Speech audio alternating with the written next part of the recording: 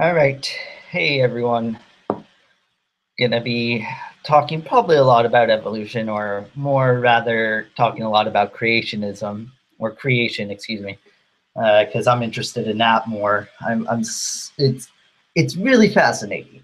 We, we can't take that away from creation. Um, I guess I can still say creationists. We can't take that away from creationists. The fact that the creation model is interesting. It's a it's an exercise in and uh, you know saying, well, the Bible's true. How can we make everything in the rest of the world conform to the Bible? It's very interesting how people can try and uh, work that out. So yeah, if if we start talking about Calvinism or the flat Earth, I'm just going to kick people. Um, that's how I do Oh no! So let me just, you know, make sure I have the link out there. Anyone come on in. Come on in, gang.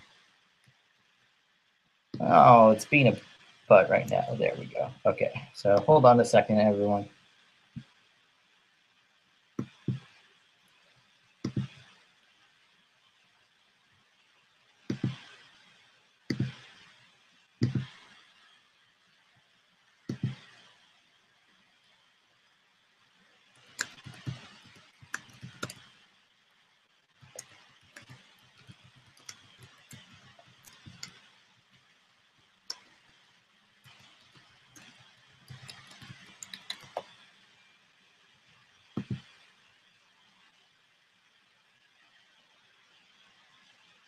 Uh, I did all that dancing in the hopes that that would be the screenshot, but it's not. Oh well.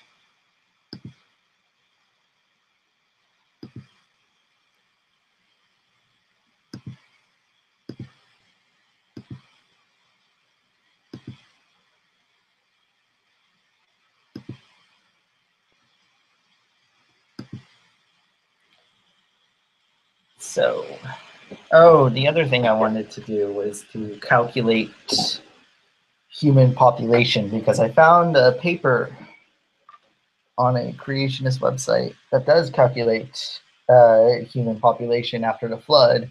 And I wanted to do it because it's another interesting argument against uh, a flood occurring little less, what is it, 3,500 years ago um, is the timeline of human history doesn't make sense with a flood occurring. So, but what I've run into is people wanted to calculate, wanted to like calculate population density and stuff like that.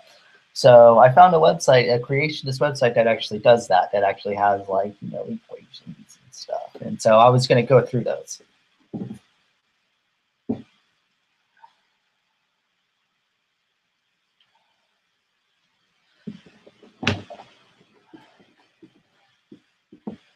All right. So let's make a whole, I'm to make a whole new page. A lot of times, I wish people could see it more. I'm writing notes when I talk to other people because I, I mean, even if I don't agree with you, I still feel that sometimes people will say very interesting stuff. So I take notes and everything, but it sometimes it doesn't look that way. And sometimes it might just look like I'm just staring down. All right, so let me tell you the argument. The argument is that there's not enough time between the end of the flood and today and or no excuse me there's not enough time between the end of the flood and the what is it the emergence of all these huge man-made buildings all the way around the world that is, after the flood, eight people were alive. That's it. Just eight. Just eight. Um, and let's see. After the flood, the flood ended. Oh, I want to get this right, so I'll look it up. I should have looked it up before I started this, but oh well.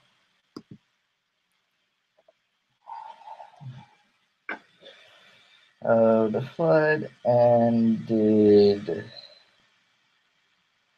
When did the flood end? I wrote it down and everything. It's at 2350 BC, I believe. Um,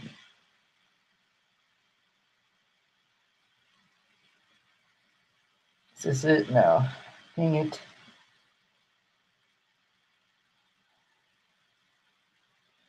Flood geology. Where are you? Flood geology. I can't find my notes on flood geology.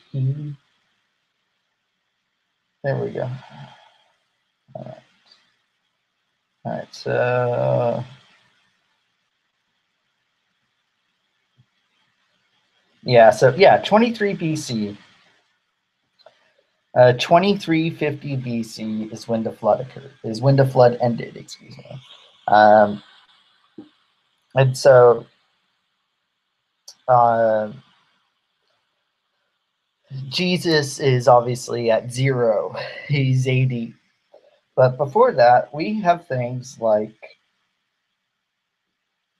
we have things like the oh, I tried to stick it within times. So if we're giving creationists their timeline, we're saying, okay, there's only 6,000 years old. You know, Earth is only 6,000 years old. The flood ended at, on our timeline, it ended at 2350 BC. Or that's when it occurred. So 2351 is when the flood ended. So by so let's say 100 years later, by 2250 BC, over 23 man-made structures in South America, Africa, Asia, the UK, and other parts of the world are clearly evident. And again, this is still within the creationist time range. So by so 100 years after the flood, we have 23 different man-made structures. Now, some of these include the pyramids, straight up pyramids. Now, there's more to this. And the thing about it is that there was, after the flood, two major incidents is also occurred. There was the Tower of Babel incident, and there was a ice age. Now, this ice age I don't know too much about actually. I don't know if like I mean when I think ice age I think it's global. I think of a global ice age, but they might be referring to something that happened just in the area. But I've seen the ice age referenced in in several different um, uh, creationist writings. And so according to uh, answers in Genesis, an ice age took place around uh, 2200 years before Christ, so 2200 BC. So, so far, I'm going to draw, and hopefully this will show up.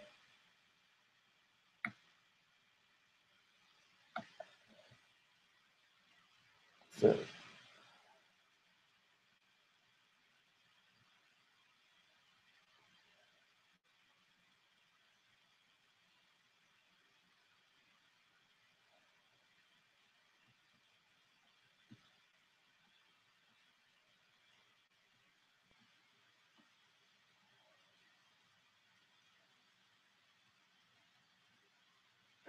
All right, so so far we have this, right? Ah. We have time. There's when the flood ended, and then we have an ice age. Now, like I said, it seems like the ice age happened 150 years after. So any of the man-made things that I cite uh, what is it? All happened after the ice age occurred. I don't know when the ice age ended. I've seen anywhere from 20, it's lasted like 400 years. I've seen some people mention that the ice age has lasted. Hey, viewer who just left, if you want to come in and talk, uh, please do. I love talking with people. But if you want to talk about Calvinism or flat earth, I'll kick you. So anyways, the ice age occurred. Now the thing is, ice ages tend to mess with human populations. A major reason why, and now I'm actually stepping outside of the creationist framework, I'm going to talk about human evolution. The main reason why culture in humans became such a huge deal is because the ice ages occurred. And ice ages are rel relatively fast in terms of geologic time. And so humans started using cultural adaptation to their environment when ice age occurred. Instead of humans, I mean, humans in Europe where the ice age was, was pretty ridiculous, um, instead of, you know, just becoming super furry again, what they started doing was wearing animal furs. They started wearing clothing. They didn't need to grow a whole bunch of, I mean, the humans that were surviving were not the humans that were becoming hairier. The humans that were surviving were the humans who were who were figuring out, hey, I can go and skin an animal, use that skin to keep me warm. And it's not that that brain idea is what was passed on. It's that those humans were able to teach their offspring, able, I mean, teaching, emulation, those kinds of things were became significantly more important to our survivability during the ice age. But you know, I'm going off on the tangent a little. The point is, is that ice ages, cold, people die. So after the flood, we only have eight people. And then for a hundred years, 23 different man-made uh, structures popped up. Several of these, like the pyramids, required hundreds and hundreds and hundreds of laborers over several years to make.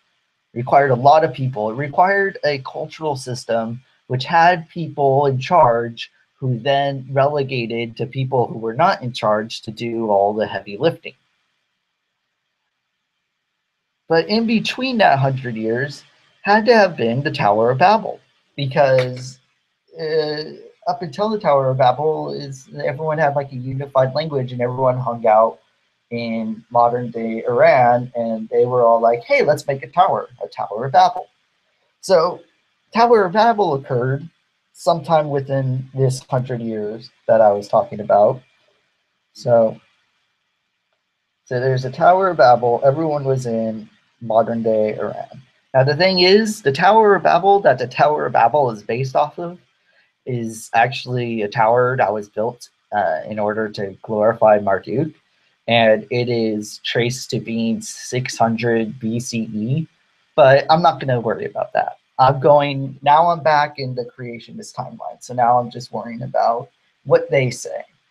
Um, so let's say the Tower of Babel is really as old as they say it is. Uh, it has to be after 23 BCE in order to, uh, because it couldn't have survived the flood. But um, it has to have been before, um, whenever the Egyptians were around, right? It had to have been before when Moses came, right? When did Moses come around? When was Moses around? Maybe I should look that up.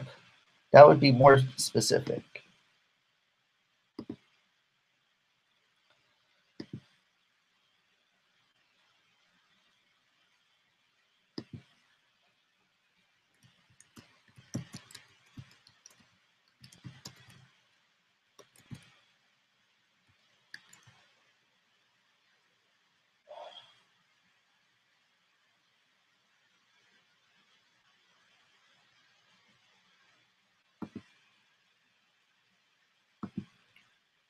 Oh yeah, that's right.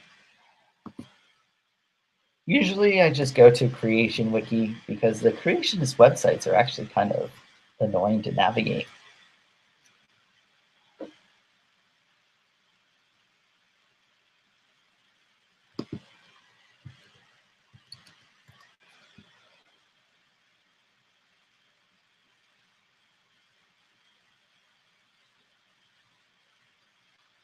Moses is said to have written the Old Testament. So Moses is roughly, so they put the end of the Ice Age at 1800 BCE.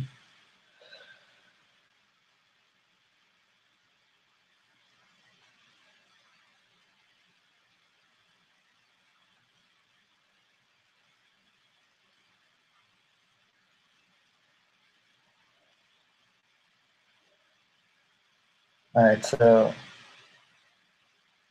at 1451, I'll make it early for you guys. Or 1491, I'll make it early for you guys.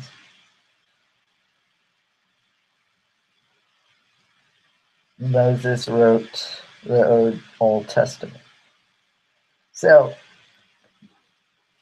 between 2350 and 1491, we already got Egypt. Egypt is up. Egypt is a thing, and Egypt is a totalitarian thing. Egypt is a thing that has pharaohs, it has all these lands, everything. Um, oh, yeah, especially by that time. But I don't know how old uh, how old Moses is at this time. Um, this is this is after the events of what happened with uh, Mount Sinai, I believe. So before that, so hmm, let's say 1500. Yeah, we'll make it nice and simple. 1500 is when Egypt is a thing.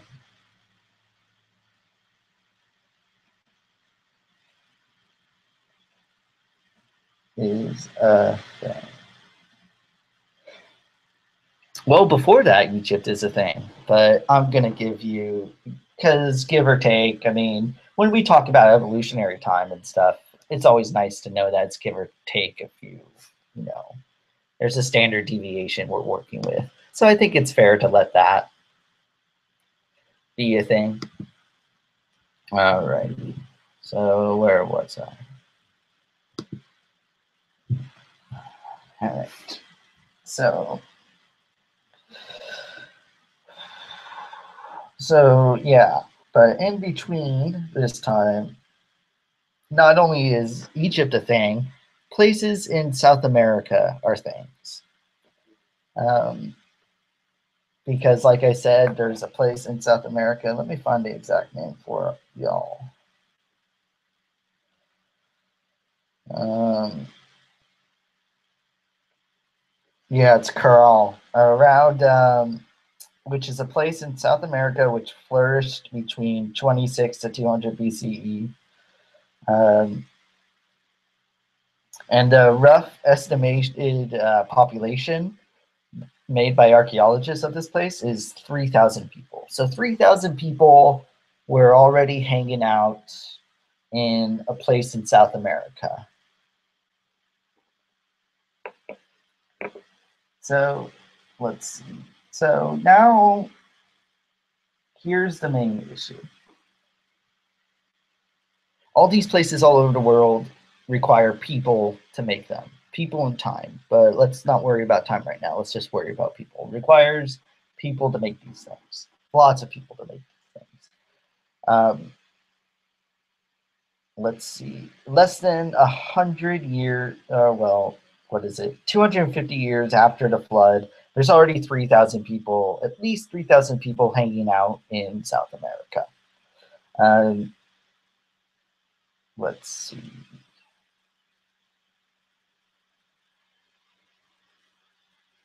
This is in spite of a ice age that occurred. And um, this is also on top of how many people are hanging out in Egypt after the flood. And this is also in spite of the Tower of Babel.